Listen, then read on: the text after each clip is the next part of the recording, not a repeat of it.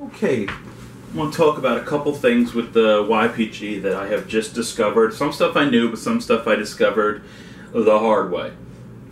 So, y'all know that if you have a song recorded, this is when I did the Somewhere Out There uh, recording. I've got a bunch of tracks saved. When you want to just delete one track out of a recorded song, so you have five recorded tracks, you want to just delete one all you have to do is hold down that track until it says clear track and then hit yes.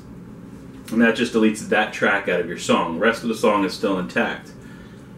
If you want to delete an entire song, it's the A and 1 at the same time.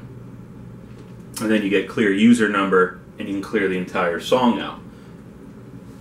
Now, Here's where I ran into some trouble, and I didn't know about these other little things. During one of my recordings, it wasn't for somewhere out there, it was for the 80s rock one, I kept botching uh, one of the songs. I don't know why. My fingers just wouldn't do what they were supposed to do, and I kept screwing up the song. And I got mad.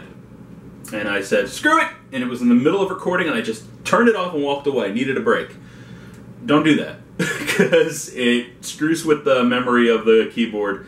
And yeah, you should probably know that common sense. If it's middle of recording, it's probably a bad idea to just shut it off. It's like saving a file on your computer and just turning it off mid save. Don't yeah. It uh it caused a complete it caused the whole track to delete.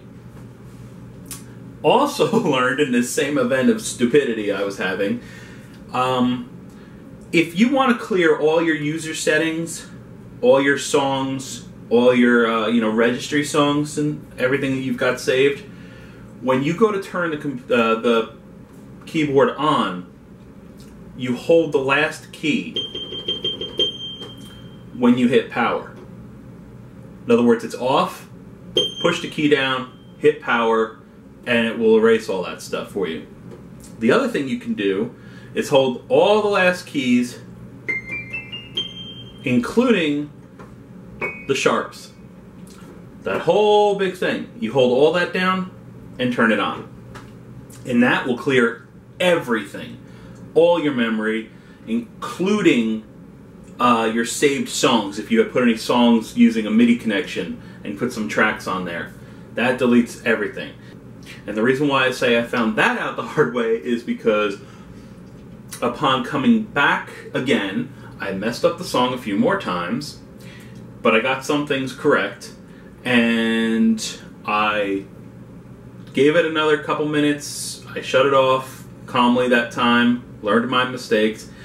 But when I came back, I was like, oh, here we go. And I put my hand down like this before I turned it on, just out of like, uh, this is going to be fun. Here we go, another take. Let's try to get this right this time. And I turned it on.